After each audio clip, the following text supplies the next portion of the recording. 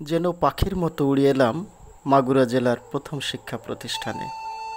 আঠারোশো চুয়ান্ন সালে মাগুরা ইংলিশ হাই স্কুল নামে যাত্রা শুরু করে এই প্রতিষ্ঠান। শুরুতে লিঙ্গ নির্ধারণ করা না হলেও উনিশশো তিন সালে বিদ্যালয়টির অন্যতম প্রতিষ্ঠাতা বাবু নিবারণচন্দ্র চক্রবর্তী তার স্ত্রীর নামে মহালক্ষ্মী বালিকা উচ্চ বিদ্যালয় নামে যাত্রা শুরু করে এই বালিকা বিদ্যালয়টি।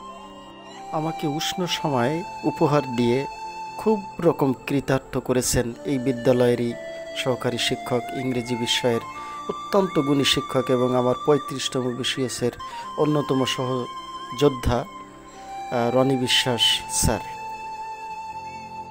এইটা আমাদের শিক্ষক মিলনায়তন। শিক্ষক মিলন এর বড় একটা পরিসর। মোটামুটি পঞ্চাশ জন স্টাফ বসার জায়গা আছে।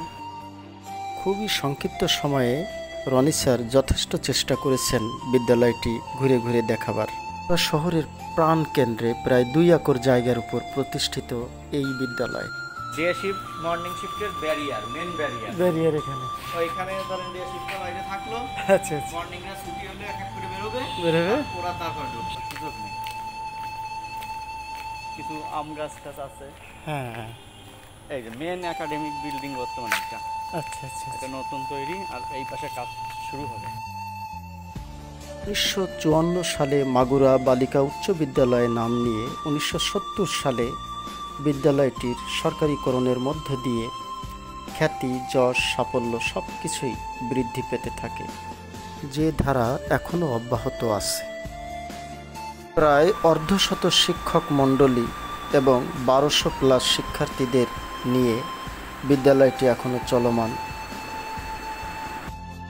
প্রিয় স্বদেশকে একটু দেখার এবং জানার লৌকিক বাংলার এই অভিযাত্রায় আপনাকেও স্বাগত জানাই।